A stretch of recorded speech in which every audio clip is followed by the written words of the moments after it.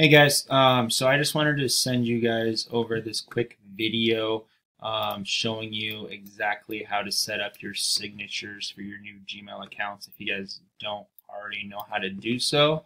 Um, so first thing you're going to do is hit the settings button and then go to see all settings.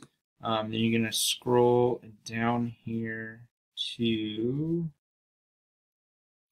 signature, create new and then you put in a name. So we'll just put in test for now. Um, this is actually the one for the info at colormappainting.com. So I'll let you guys set it up, but we'll just put it in for a test. So we'll put create. And then it allows us to type in what we want. So let's just put test on here as well.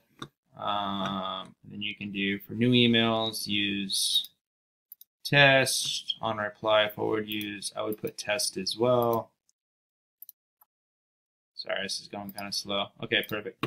Um, and then we could do, um, it gives you the ability to insert an image so you guys can put in your company logo here as well.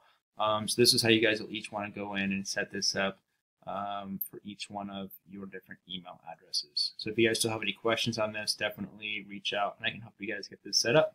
Thank you.